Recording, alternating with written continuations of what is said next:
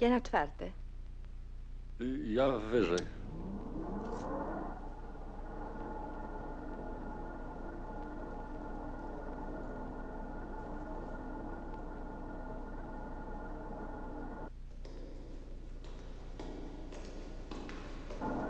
Czy pan się źle czuje? Nie.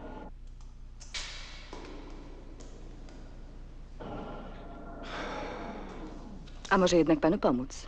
Nie.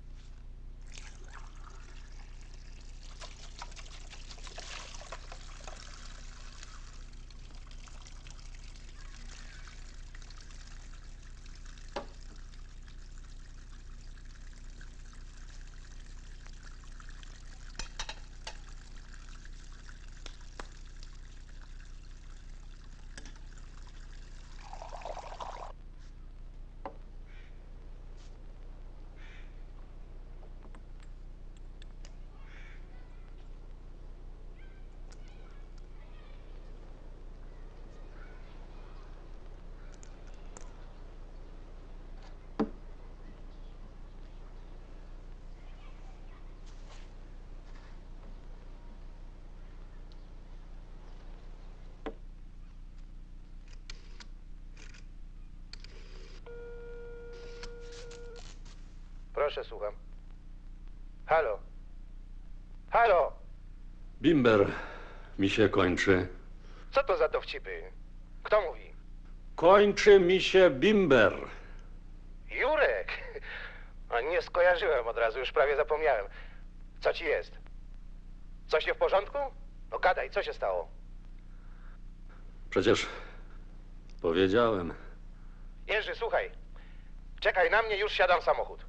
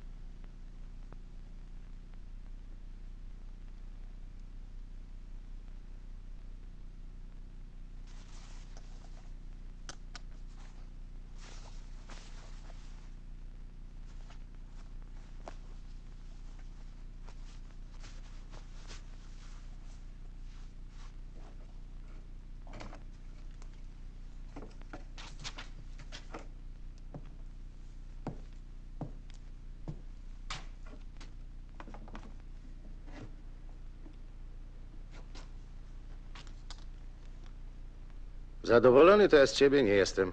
Ani ja. Dobrze wyglądasz. Wcale nie utyłeś przez te dwa lata.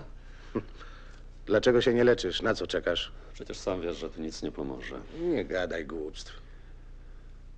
Nic mi nie zapisuj. Nie dlatego chciałem cię zobaczyć. Więc dlaczego? Spotkałem wczoraj Rafała.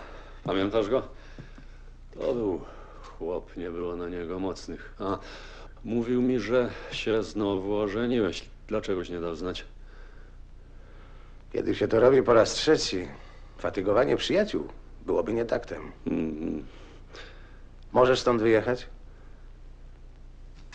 Nie mam po co.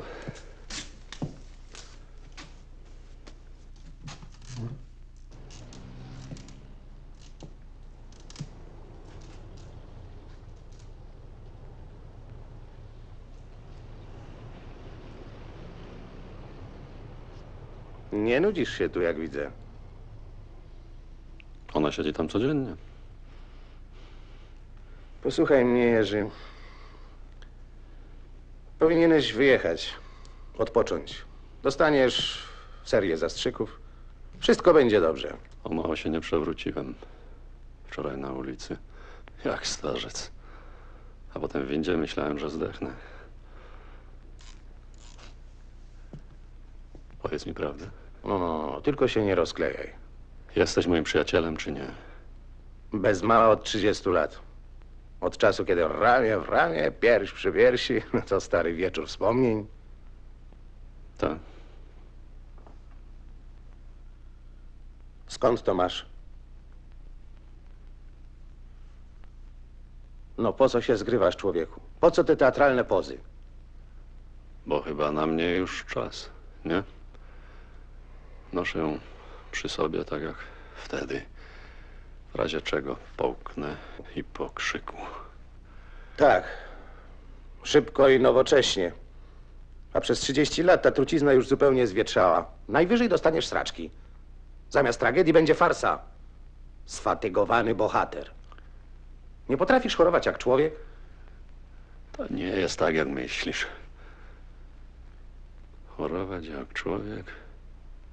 Nie, to nie ma sensu. A co ma? W każdym razie nie możesz być sam. Tutaj nie ma ci kto podać nawet szklanki wody. Pojechałbyś do Jacka. Po co? Przestań się zgrywać, weź się w garść.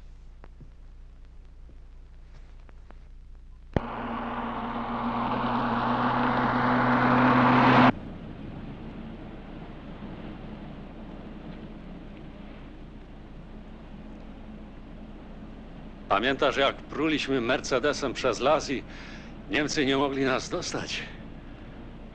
To była moja nauka jazdy. Z przestrzeloną oponą. Mogli nas pocałować i jechałeś jak rajdowiec. Taki urlop dobrze ci zrobi. Jacek ci będzie podsuwał lekarstewka. Basia ci ugotuje kurczaczka. Nie chcę litości. Od własnego syna? Ma swoje życie, niczego ode mnie nie potrzebuje. A może byś wyrzucił tam półkę, co? Zatrzymamy się na chwilę. Trochę jestem zmęczony, miałem ciężki tydzień.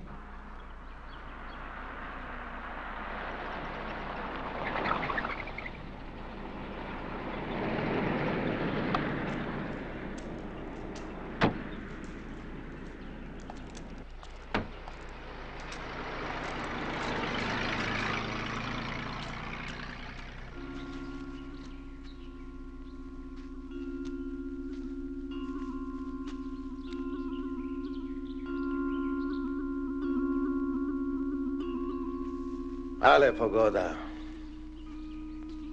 Tylko na urlop. Mm, to się tak długo nie utrzyma. Tak myślisz?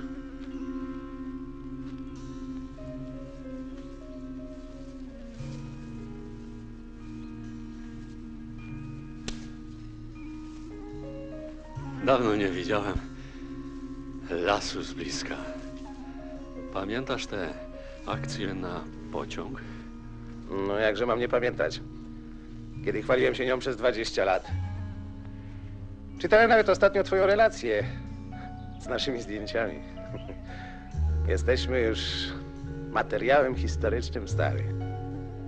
Byłem ranny, czołgałem się, strzelali, a ja czołgałem się godzinami, kilometrami i diabli wiedzą, skąd ja miałem na to siłę. I nagle wpadłem do strumienia i leżałem. Bracie, jak mi się zrobiło dobrze. Cicho, miękko, chłodno. Myślałem, że się już nie ruszę. Niech przychodzą, zabierają. Poddałem się. Tego nie było w twojej relacji. A jednak wylazłem z tego cudownego strumienia. Nie wiem, jak wylazłem, ale więcej mnie już nie było stać na, na coś takiego. Ty, wtedy, wtedy poznałem wartość życia. Ale, ale to życie jakby mi się na tym właśnie skończyło. Masz za dużo czasu i za mało obowiązków. Pomyśleć, że to było prawie 30 lat temu. Ciekawe, czy teraz potrafiłbym przeczołgać się przez tak długi odcinek. Właściwie dlaczegoś ty się drugi raz nie ożenił? Nie miałbyś czasu myśleć o głupstwach. Może by mi jeszcze starczyło siły.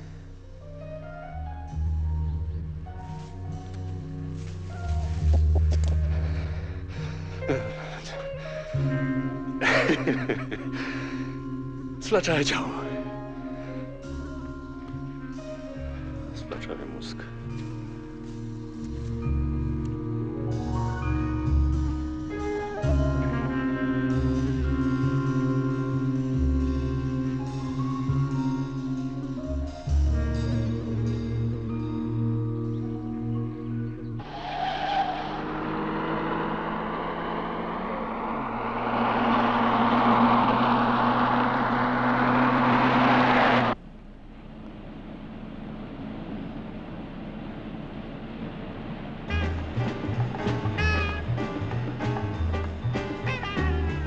Jadę do nich.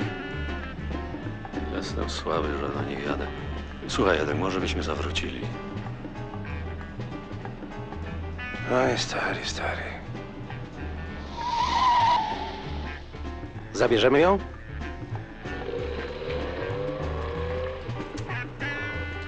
Podrzucicie mnie panowie do jazów? A gdzie to te jazy? Prosto 20 kilometrów. Dobrze, nie pan siada.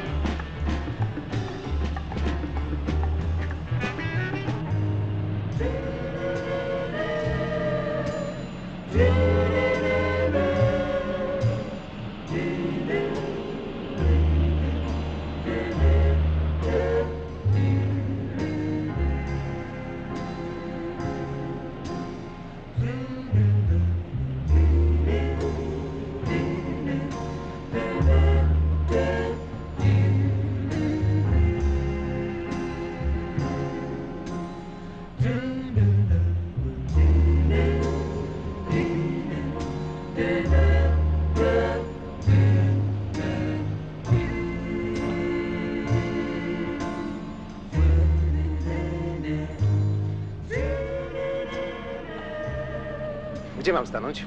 Poproszę koło rynku. Proszę. To ile ja jestem winna? Oj, nieładnie tak żartować ze starszych panów.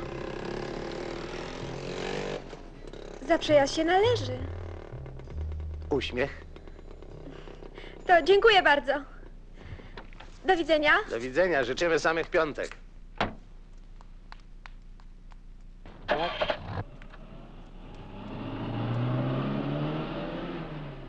Jadek, nie powinienem do nich jechać.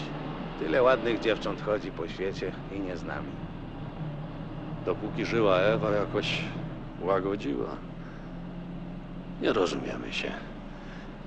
Zresztą mają prawo żyć po swojemu, no nie? Taki stary pryg jak ja to wielka niewygoda w domu. Jak szafa na środku pokoju.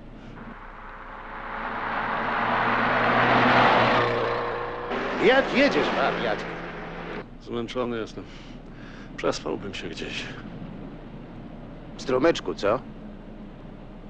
Dam za ciebie ogłoszenie. Sterany życiem, kulturalny, nie najzdrowszy i nie najmłodszy, z piękną kartą, poszukuje energicznej w średnim wieku, która by go natchnęła chęcią do życia i rozbudziła przygasłe ambicje. Niebezpieczeństwo nie grozi z zewnątrz. Jak dawniej. Ono jest teraz tu, we mnie. Mam czekać dzień po dniu. Aż mnie to przeżre. Do końca. Nie chcę. Przestań, wyrzuć to świństwo!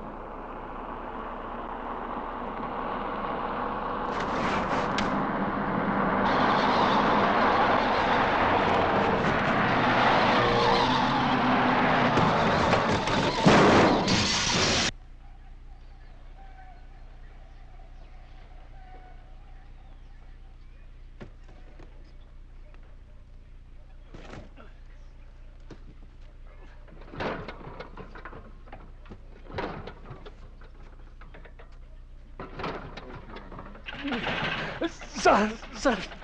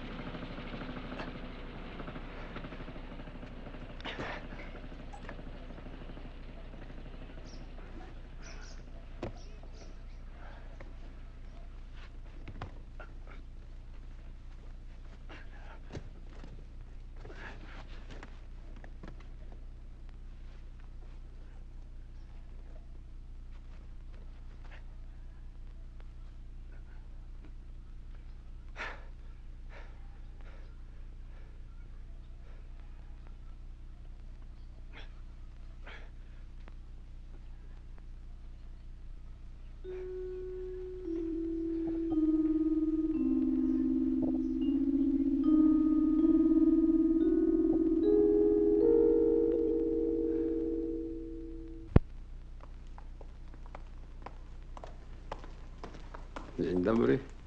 No, no jak? Niby lepiej.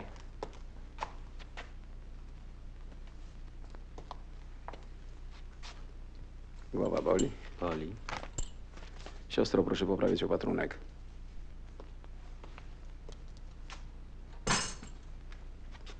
Typowy stan po frakturach koste i atezjony z pleure. Bardzo stara historia. Kiedy ja stąd wyjdę? No, trzeba jeszcze trochę poleżeć. Kolego, a pana Glińskiego bierzemy zaraz na operację.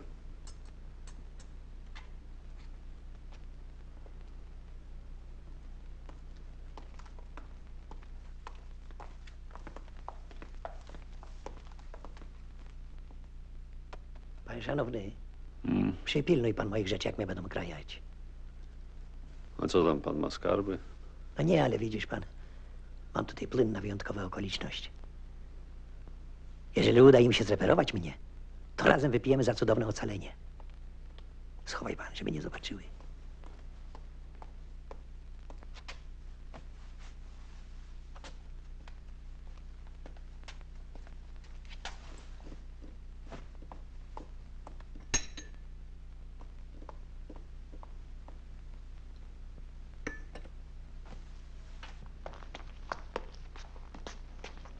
Proszę, niech się pan ułoży wygodnie.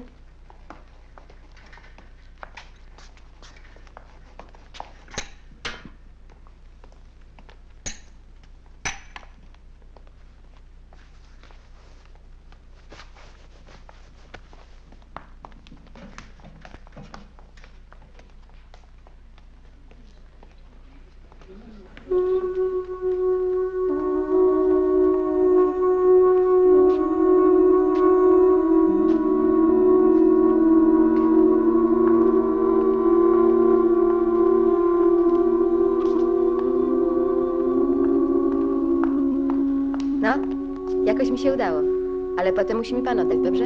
Tak, dziękuję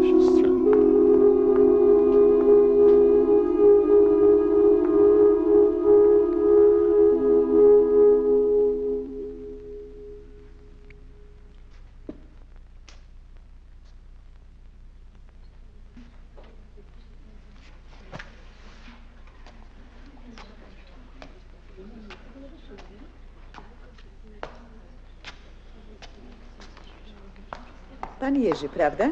Tak, y, słucham. Jestem żoną Edwarda. Bardzo mi miło. Och, spotykamy się w niezwykłych okolicznościach. Edward opowiadał mi o panu. Może panu czegoś potrzeba? Mogłabym Nie, przynieść. nie dziękuję bardzo. Edward musiał być bardzo zmęczony. On przecież tak dobrze prowadzi. Na szczęście mamy to już poza sobą. Wie pan, lekarz, zresztą przyjaciel Edwarda, powiedział, że wszystko jest na najlepszej drodze. Jakie to szczęście, że pan był z nim. Doprawdy nie wiem, jak panu dziękować. Tyle o panu słyszałam. Musi pan do nas wpaść. Obiecuje mi to pan, prawda? Może przyjdę. Do widzenia, pani. Do widzenia.